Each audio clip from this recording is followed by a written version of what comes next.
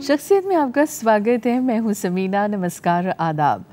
तमन्ना जो पूरी हो ख्वाब में, तमन्ना जो पूरी हो ख्वाब में हकीकत बन जाए तो क्या बात है?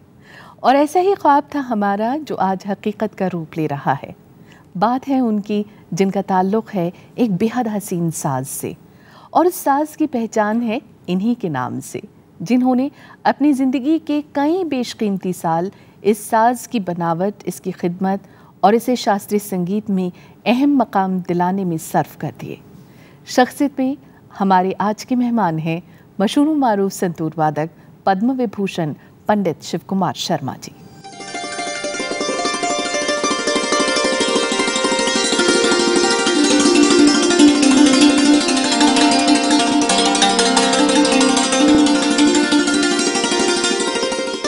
संतूर के तारों की जादूगरी।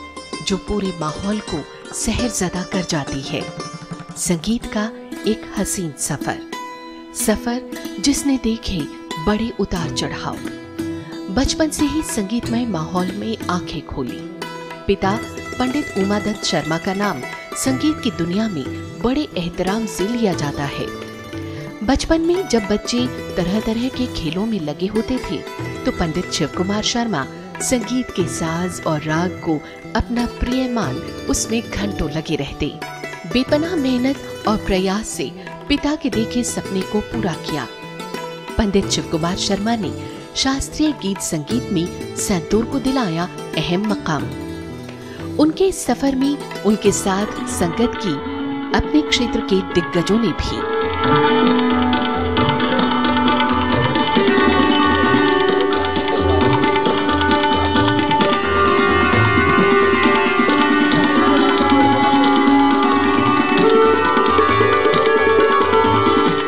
उनके एल्बम्स ने गीत संगीत की दुनिया में बेहद धूम मचाई।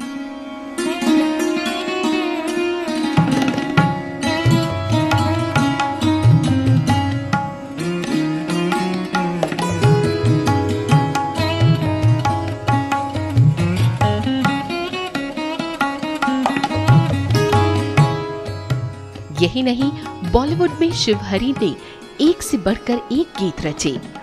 जो हिंदी फ़िल्मों की दुनिया में इतिहास रच गए।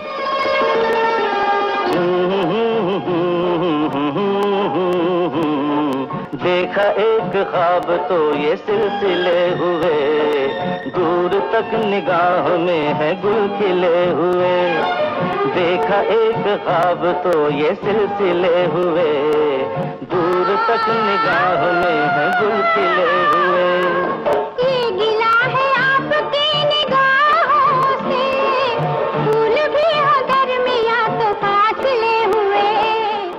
मेहनत और समर्पण का सिला रहे बेशुमार अवार्ड्स और सम्मान।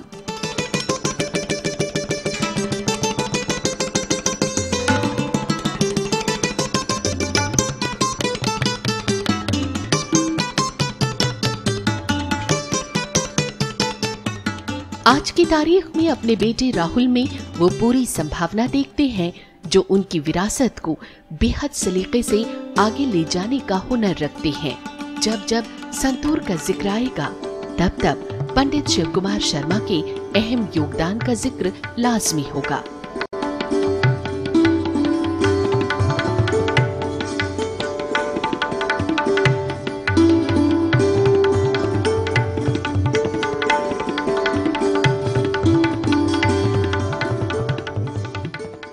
बहुत बहुत स्वागत पंडित जी शख्सियत में आपका। बहुत अच्छा लग रहा है और बिल्कुल ऐसा लग रहा है कि जो सपना हम लोग इतने दिनों से देख रहे थे वो आज हमारा पूरा हो गया। मुझे भी बहुत अच्छा लग रहा है और आपके प्रोग्राम्स में देखता हूँ। तो मैं बहुत खुश हूँ कि आज हमको ये मौका मिल रहा है आपके रूबरू होने का। तो बहुत बहुत शुक्रिया पंडित जी हौसला अफजाई करने की। अब शुरुआत आप ही की अपनी बात से हम करना चाहेंगे। आपने कहीं कहा है कि संगीत जो है वो मनोरंजन का साधन नहीं है बल्कि ईश्वर से जुड़ जाने का नाम है उसकी साधना का नाम है। तो रोशनी का ये सफ़र अब तक का आपका कैसा रहा? ये जो बात है मैंने दोहराई होगी लेकिन असलियत यही है। हमारे भारत में संगीत की जो शुरुआत हुई थी तो वो मनोरंजन था एक प्रकार का लेकिन वो जिसको कहते हैं कि आ, रूह को ताजगी देता है। वो मनोरंजन हुआ कह लीजिए।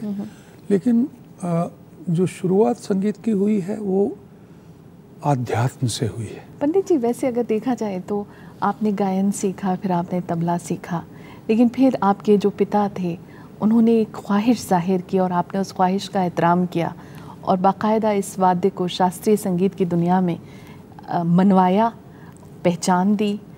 तो कहीं कोई वसवसा या कहीं कोई कन्फ्यूज़न नहीं था जब पिताजी ने आपको इस वाद्य को प्रॉपर तरीके से या यूँ कहें प्रोफेशनल तरीके से अपनाने की बात कही थी देखिए मेरी तालीम पहले तो मेरे पिताजी हम्म। पंडित उमादत्त शर्मा जी हम्म। बहुत महान गायक थे बनारस घराने के गायक थे वो पंडित बड़े रामदास जी के शिष्य थे उन्होंने मुझे पाँच साल की उम्र में। गाना सिखाना शुरू किया और साथ में तबला भी। तो हुआ यूँ कि मुझे धीरे धीरे तबले की तरफ़ मेरा रुझान ज़्यादा हो गया और मैंने सात आठ साल की उम्र में बच्चों के प्रोग्राम में हाँ। आ, रेडियो से तबला ब्रॉडकास्ट करना शुरू कर दिया। तो ये सब चल रहा था। तो एक दिन मेरे पिताजी ने मुझे कहा कि तुमको ये साज सिखाना चाहता हूँ। जब मेरे वालिद साहब ने कहा तो मेरे सामने एक बहुत बड़ी समस्या थी कि मैं क्यों बजाऊं इसको? जब मैंने बजाना शुरू किया तो मुझे एक फ़ायदा ये हुआ कि मैंने गाना सीखा हुआ था। रागदारी मुझे मालूम थी, तबले का मुझे नॉलेज था। तो इसकी टेक्निक मुझे पिताजी ने समझाई और पहले मेरे पास वही संतूर था जो 25 ब्रिज का सौ तार का संतूर कश्मीर में बजता है और उसको एक स्टैंड पे रख के बजाते हैं। अच्छा। हाँ उसका हम्म। बजाने का तरीका भी अलग है टेक्निक अलग है और म्यूज़िक अलग है लेकिन उसका पूरा सिस्टम मैंने बदल दिया। क्या मुश्किलें आई? मुश्किलें सबसे पहले तो ये था कि इस किस्म का दूसरा कोई साज दुनिया में नहीं है। जो तार के साज हैं सितार है तो आपका उंगली उसके साथ लगती है और इधर से आप मिजराब से बजाते हैं। हाँ, हाँ। सरोद है तो तब उसका भी वही ज़रिया है। यहाँ जावा जिसको बोलते हैं प्लेक्ट्रम है और यहाँ से आप उसको स्लाइड करते हैं उंगली को उसके ऊपर सारंगी है तो उसमें गज़ के साथ बजाते हैं तार का कोई दूसरा ऐसा साज नहीं जो तार का साज होने के बावजूद ये देखिए इसको हम कलम बोलते हैं कश्मीर में हम्म। अखरोट की लकड़ी का बना है हम्म। इसके साथ इसको बजाते हैं हम्म। ऐसा दूसरा कोई साज है ही नहीं, नहीं। जल तरंग है हाँ। लेकिन उसमें तार नहीं तार है नहीं है तो ये अपने किस्म का एक ही ऐसा साज है जो किसी कैटेगरी में नहीं बैठता। हालाँकि बहुत प्राचीन साज है। सैकड़ों साल पुराना साज है इसका नाम शततंत्री वीणा था। पंडित जी अगर अब थोड़ा सा आगे बढ़ें और 1955 की तरफ़ चलें जहाँ आपने पहली दफ़ा नेशनल पब्लिक परफॉर्मेंस दिया नेशनल लेवल का वो परफॉर्मेंस था और जिस वक्त आप वो परफॉर्म कर रहे थे वहाँ पर बड़े बड़े दिग्गज मौजूद थे। और जो। हम लोग जान पाए जो समझ पाए जो उस वक्त के जो आर्टिकल्स हैं उनको पढ़कर जो हम लोग समझ पाए कि वहाँ आलोचना भी हुई और तारीफ़ भी हुई। अभी गायक लोगों को ले लें तो उस्ताद बड़े गुलाम अली खान साहब उस्ताद अमीर खान साहब उस्ताद मुश्ताक हुसैन खान साहब पंडित ओमकार नाथ ठाकुर जी पंडित विनायक राव पटवर्धन पंडित नारायण राव व्यास सिद्धेश्वरी देवी जी रसूलन भाई जी केसर भाई जी मोगू भाई कुर्डीकर आप जो भी नाम लें और आपकी उम्र क्या थी उस वक्त? मैं टीनेजर था सत्रह साल का था मैं। इतने दिग्गजों के बीच और इंस्ट्रूमेंटलिस्ट में हाँ हाँ। उस्ताद अली अकबर खान साहब उस्ताद विलायत खान साहब पंडित हाँ। रविशंकर जी हाँ ऐसे ऐसे लोग थे। और तबला नवाज़ों में उस्ताद अहमद जान तरकवा खां साहब उस्ताद अल्लाह रखा खान साहब पंडित किशन महाराज जी पंडित श्यामता प्रसाद जी करामतुल्ला खान साहब। लेकिन जब आपने इन सब के बीच में बजाया था तो उत्साह तो बहुत बढ़ा होगा आपका और आपको ये महसूस कहीं ना कहीं हुआ होगा कि हाँ अब मैं कुछ कर पाऊँगा आगे। जो अनजान लोग थे हाँ। हाँ, जो संगीत की टेक्निकलिटीज़ को नहीं समझते थे उनको लगा भाई कुछ नई साउंड है और कोई नया साज है।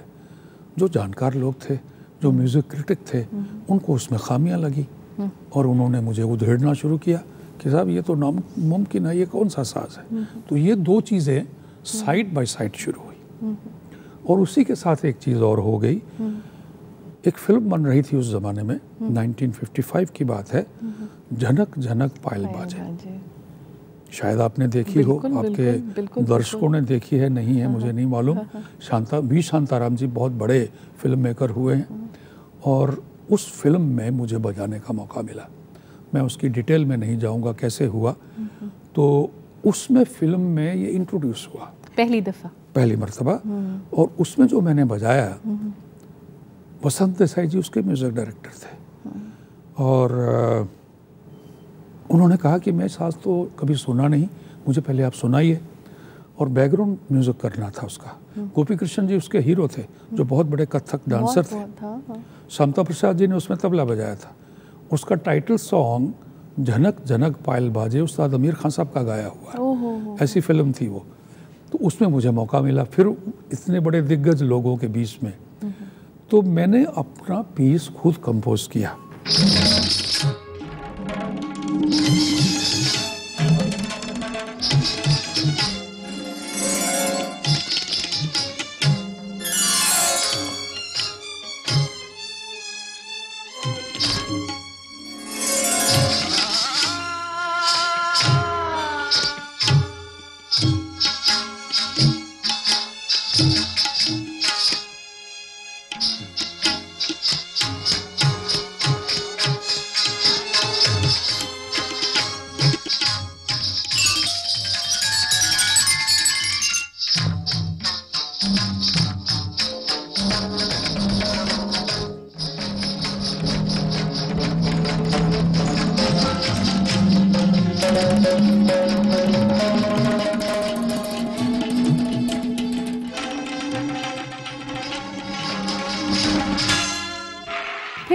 का सफ़र कैसा हुआ? जी वो भी एक फिल्मी आ, सीन हुआ मेरी लाइफ हाँ। में।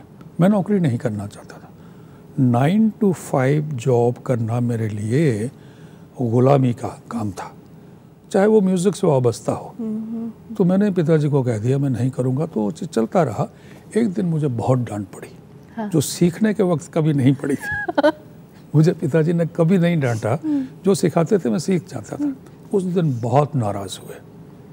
उन्होंने कहा तुम क्या समझते हो अपने आप को? कब से तुमको कह रहे हैं? मैंने कहा जी आपसे कह चुका हूँ मैं नहीं करूँगा। बोले रुको एक मिनट वो समझे ये तो सीरियस है। मैं तुम्हारा कुछ इंतज़ाम करता हूँ फिर तुम जाना। मैंने कहा साहब नहीं। आपने मुझे तालीम दे दी म्यूज़िक की सिखाया बढ़ाया अभी मुझे खुद करना चाहिए। अब मुझे आप जाने दीजिए। मैं ज़बरदस्ती तीसरे दिन चला आया। उन्होंने मुझे पाँच सौ रुपया दिया।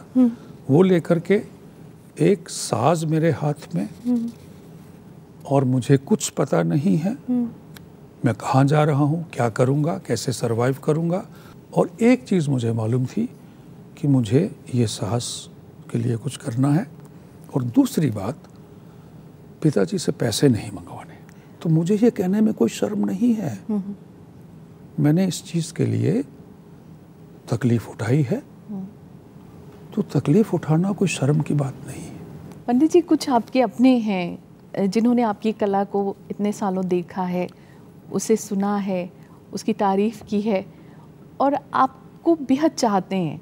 उनकी राय को हमने अपने इस प्रोग्राम में शामिल करने की कोशिश की है। आइए आपको दिखाते हैं उनका क्या कहना है। पंडित जी प्रणाम।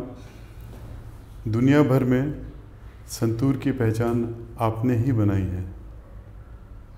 गांधर महाविद्यालय और हमारे परिवार से आपका अटूट रिश्ता है।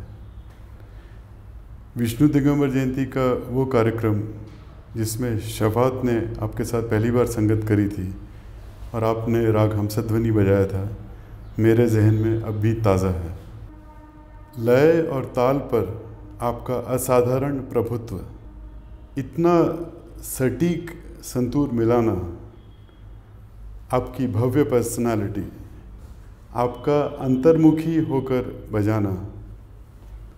ऐसी अनेक ऐसे अनेक गुण आप में हैं जिनका बयान करना मुश्किल है।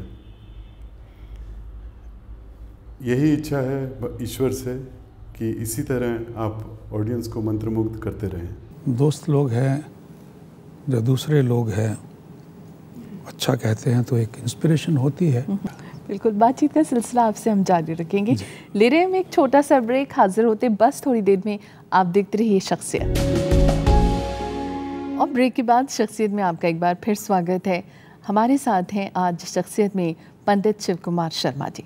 पंडित जी हर एक की ज़िंदगी में कुछ ऐसे परफॉर्मेंसेस होते हैं जो उसके सामने एक चैलेंज बन चुके होते हैं। तो ऐसे कौन से यादगार परफॉर्मेंसेस आपकी ज़िंदगी में रहे जो आज भी आपको याद आते हैं? एक दिन शिकागो में प्रोग्राम हुआ। उस्ताद अल्लाह रखा खान साहब मेरे साथ तबला बजा रहे थे। पूरे टूर में वही बजाते थे। प्रोग्राम अच्छा हो गया। तो मैंने कहा हम लोग डोगरी भाषा बोलते हैं। वो मेरे से डोगरी में बात करते थे। अच्छा। तो मैंने डोगरी भाषा में उनसे कहा कि खान साहब कि खान साहब प्रोग्राम बड़ा अच्छा हुई है। ऐसे हम बोलते हैं डोगरी में। तो उन्होंने कहा कि अच्छा होना ही था।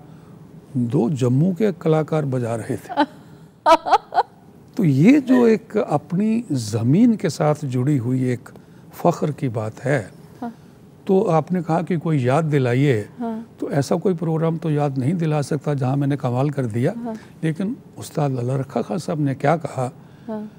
वो मुझे याद है कभी भूल नहीं सकता पंडित जी, सर, आपका जो वाद्य है, संतूर सरोद हुआ, सितार हुआ और तमाम जो वादे हैं उनमें मीड़ का भी एक इसमें कैसे मुमकिन हो पाता है? साज की अपनी भाषा है वो उस टेक्निक से उसको कहता है। तो मैंने ये सोचा कि अगर मुझे ये साज संतूर बजाना है तो मुझे किसी दूसरे साज की नकल इसमें नहीं करनी होगी।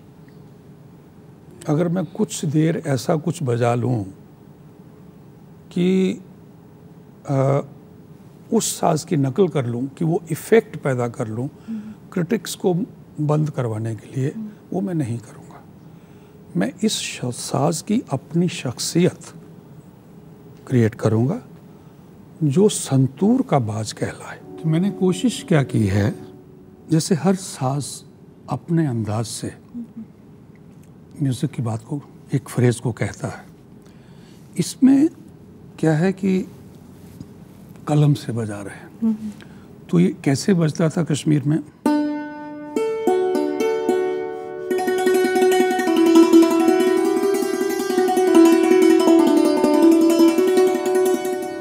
ऐसे बजता था वहाँ पर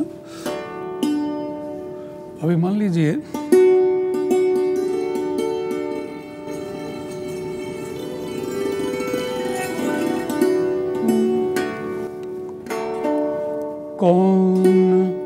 गली गए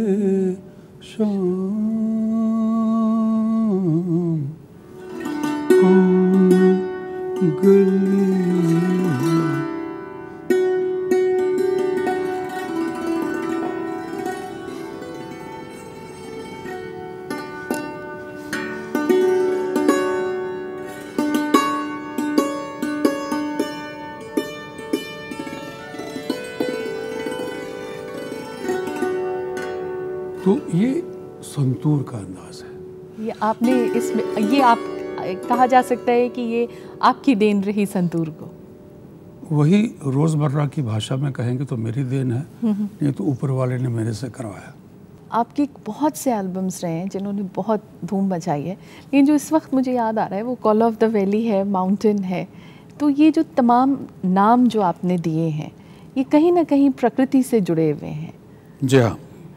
तो कॉल ऑफ़ द वैली के पीछे जब आप सोच रहे थे तो क्या सोच थी उसको बनाने को लेकर। मुझे एचएमवी ने अप्रोच किया कि रेगुलर राग तो मैं करता रहता हूँ रिकॉर्ड मेरा पहला रिकॉर्डिंग 1960 में रिलीज़ हुआ था ईपी तो 67 में मुझे उन्होंने कहा कि कुछ थीमेटिक करिए। तो जब मुझे ये प्रोजेक्ट दिया गया तो सबसे मेरा ख्याल पहले उधर ही गया। वादी की तरफ़। जी हाँ। तो मैंने उसका नाम कॉल ऑफ़ द वैली रखा।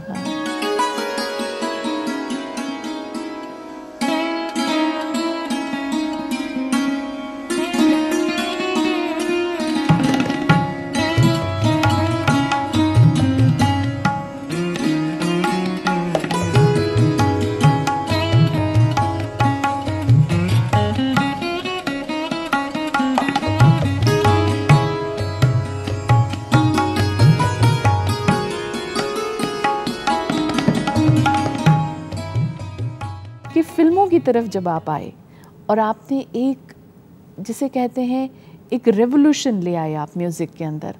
लोगों लोग सोचने खाने बैठने उसी संगीत के अंदर रह, रहने लगे। जी। संगीत जब आप फ़िल्मों में आपने जब देना शुरू किया तो उसके पीछे कौन इंस्पिरेशन था? आप कैसे फ़िल्मों से जुड़े? और जब आपने संगीत देना शुरू किया तो वो औरों से बिल्कुल मुख्तलिफ़ था। फ़िल्म इंडस्ट्री ने उसको कैसे लिया? आ, सबसे पहले तो 1960 में वो जो एक वाक़ मेरी लाइफ में हुआ घर छोड़ दिया अचानक। जी। मैं फिल्मी म्यूज़िक बन बजाने नहीं आया था। मैं तो घर छोड़ दिया था ऐसे ही एक जुनून में आकर के। तो वैसे शुरू हो गया। और फिर यशराज जी के साथ शायद टर्निंग पॉइंट रहा वही मैं उसी बात पे आ रहा हूँ कि पहले तो मेरी हरी जी से मुलाकात हुई। हाँ हाँ। सिलसिला फ़िल्म की ऑफ़र लेकर के आए। इतनी बड़ी फ़िल्म थी। अमिताभ बच्चन साहब रेखा जी जया जी संजीव कुमार ऋषि अपना शशि कपूर कपूर, जी ये सारे बड़े बड़े फन अदाकार उसमें थे। और फ़िल्म के लोग बहुत हैरान हो गए कि यश चोपड़ा जैसे फ़िल्म मेकर इतनी बड़ी स्टार कास्ट की फ़िल्म बना रहे हैं और ये क्लासिकल म्यूजिशियंस को ले रहे हैं कितना बड़ा रिस्क ले रहे हैं ये लोग। लेकिन यश जी जानते थे। वो इसी तरह से यश चोपड़ा का नाम नहीं हुआ। उनको पहचान थी कि किस आदमी में क्या फ़न है और उसका कैसे इस्तेमाल किया जा सकता है। अब चलते चलते पंडित जी ये ज़रूर जानना चाहेंगे कि गुरु शिष्य परंपरा जी। आज कैसी देखते हैं? साथ ही संतूर के भविष्य की अगर हम बात करें तो कैसा दिखता है आपको? ये संगीत आज तक ज़िंदा रहा है गुरु शिष्य परंपरा पे। क्लासरूम टीचिंग से कभी कलाकार नहीं बने। और दूसरी बात, ये मैं अपने ज़िंदगी का तजुर्बा आपको बता रहा हूँ। सैकड़ों लोगों को आप सिखाइएगा। दर्जनों लोग उस कैलेबर के नहीं बन सकते। इम्पॉसिबल है। दस साल पहले मुझे लोग पूछते थे, मैं नहीं कहता था कि राहुल, मेरा बेटा जो है, राहुल शर्मा, उसने साबित किया है पब्लिक के सामने।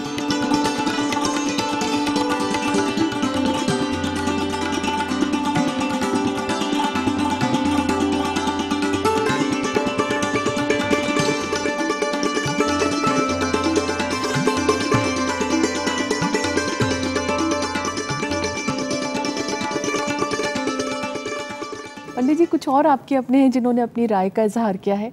आइए देख लेते हैं उनका क्या कहना रहा। ज़रूर देखते। हैं। मैं गुरुजी तो सिर्फ़ वो म्यूज़िक का वो टीचर नहीं है वो मेरा लाइफ का वो टीचर है। गुरु जी से सीखना वो बहुत लोग मानते हैं लेकिन वो सब लोग नहीं वो सीखना कर सीख सीखना नहीं कर सकते हैं। लेकिन मैं कर सका। बहुत सॉफ्ट है मतलब वो गुस्सा तो आते नहीं एकदम शांति से बात करते हैं। वो लोगों वो बोलते हैं वो तुम अच्छा बजाए वो बहुत अच्छा था। लेकिन वो मत सुनो।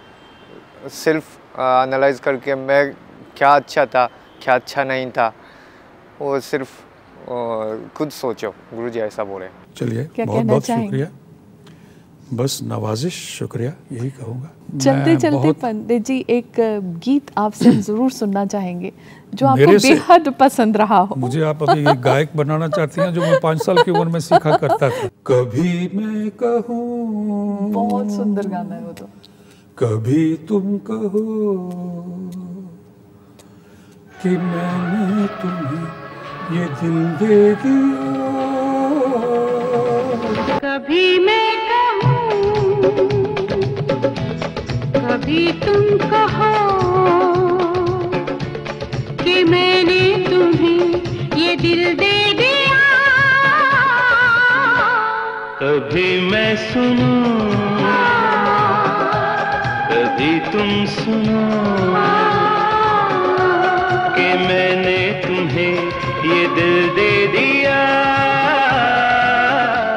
बहुत बहुत शुक्रिया पंडित जी आज आप शख्सियत में आए हम लोगों के साथ। और हम लोगों के लिए इतना वक्त निकाला। बहुत बहुत शुक्रिया। बहुत बहुत धन्यवाद। तो शख्सियत में आज फ़िलहाल इतना ही। एक और ताबिंदा सितारे के साथ आपसे होगी जल्द मुलाकात। इजाज़त दीजिए। नमस्कार आदाब।